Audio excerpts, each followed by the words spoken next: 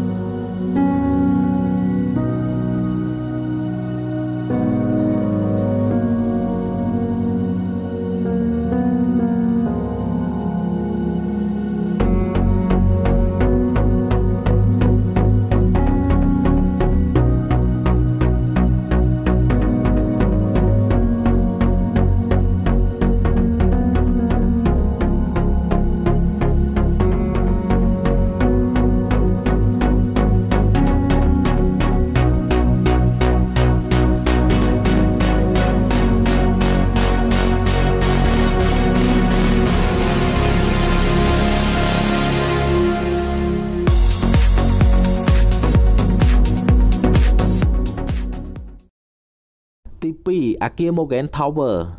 អគារ Morgan Tower បានបោះទុនវិនិយោគប្រមាណ160លានដុល្លារអាមេរិកក្នុងការសាងសង់អគារដែលមានឈ្មោះថា Morgan Tower ដែលមានកម្ពស់រហូតដល់210ម៉ែត្រដែលស្មើទៅនឹង46ជាន់អគារ Morgan Tower បាននឹងកំពុងសាងសង់ឡើងដោយប្រើបច្ចេកវិទ្យាទំនើបដែលអាចសន្សំសំចៃធម្មពលអគ្គិសនីដែលស្ថិតនៅក្នុងទីក្រុងកោះពេជ្រវិនិយោគដោយក្រុមហ៊ុន Morgan Group គម្រោងនេះស្ថិតក្នុងសង្កាត់ទលេបាសាក់ខណ្ឌចំការមនរាជធានីភ្នំពេញ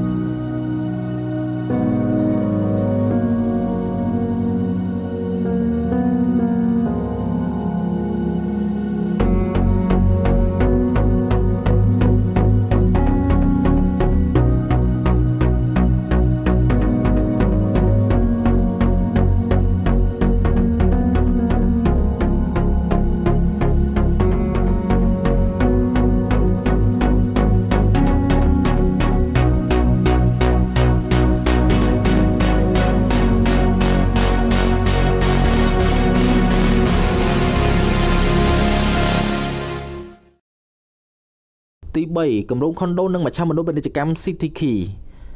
គម្រោងនេះមានឈ្មោះថា City Key មានចំនួន52ជាន់និងកម្ពស់208ម៉ែត្រជាគម្រោងខុនដូនិងមជ្ឈមណ្ឌលពាណិជ្ជកម្មថ្មីមួយបាននឹងកំពុងសាងសង់ដែលវិនិយោគដោយក្រុមហ៊ុនមកពីប្រទេសចិន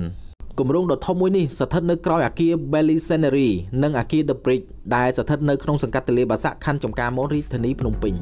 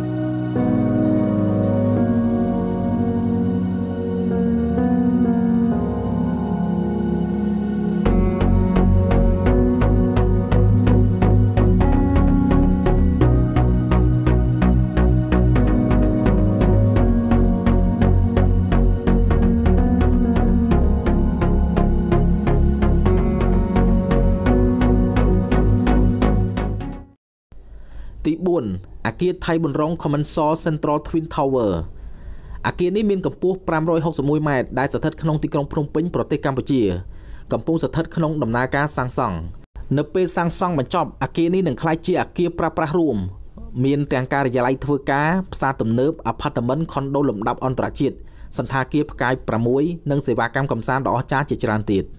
អគារភ្លុះមជ្ឈមណ្ឌលពាណិជ្ជកម្មថៃប៊ុនរងរបស់ប្រទេសកម្ពុជាជាប់ជាអគារខ្ពស់នៅក្នុងតំបន់អាស៊ានក៏ដូចជាខ្ពស់ជាងគេក្នុងនាមអគារភ្លុះនៅលើពិភពលោកមជ្ឈមណ្ឌលពាណិជ្ជកម្មនេះស្ថិតក្នុងចំណោមអគារខ្ពស់កប់ពពកចំនួន6ផ្សេងទៀតមកពីប្រទេសចំនួន6នៅក្នុងតំបន់អាស៊ានហើយអគារទាំងនេះនឹងក្លាយជាអគារខ្ពស់កប់ពពកនៅក្នុងតំបន់អាស៊ាន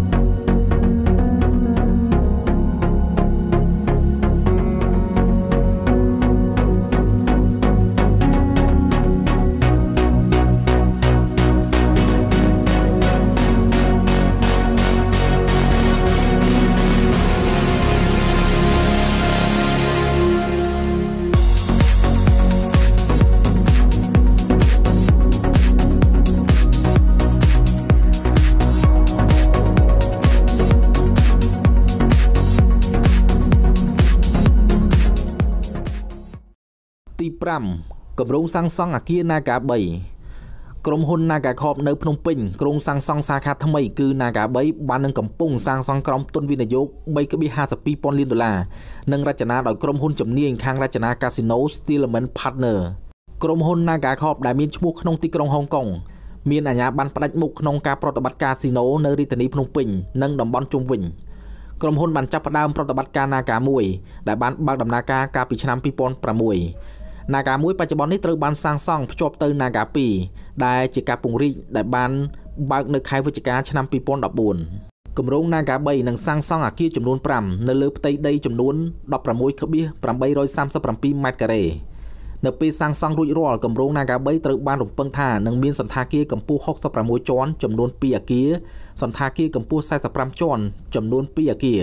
និងខុនដូមួយដែលមានកម្ពស់48ជាន់។